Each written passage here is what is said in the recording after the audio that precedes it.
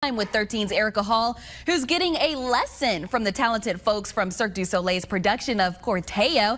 Erica, what are they trying to teach you?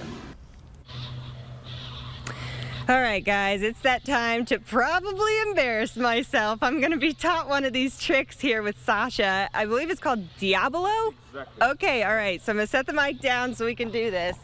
So I'm gonna try to like send Diabolo to you. Try to see what it is. Try to follow.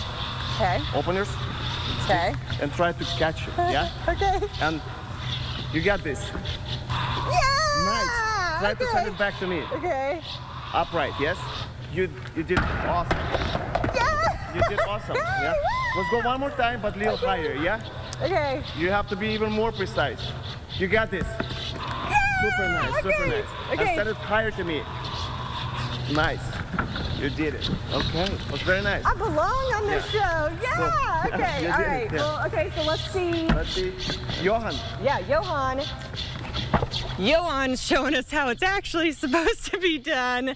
Wow. I don't think I could practice for 10 years and get that good. Takes time. Yeah. It takes time. Well, any juggling takes more than, uh, should be more than a couple of hours a day. A couple of Yeah. hours a And- day. And it's a lot of uh, dropping and picking up there. All right. Well, I really appreciate it. I had so much fun out on this shoot today. Anybody watching at home, please come out today for Corteo and the rest of the weekend. Tickets start at $45. Back to you in studio, Denisha. All right, thanks so much, Erica. I thought you did pretty well there. You may have another job going for you. Good job out there. And of course, you can see it for the rest of the week and through the weekend at the Kansas Expo Center. Time now is 6:51. We'll be back.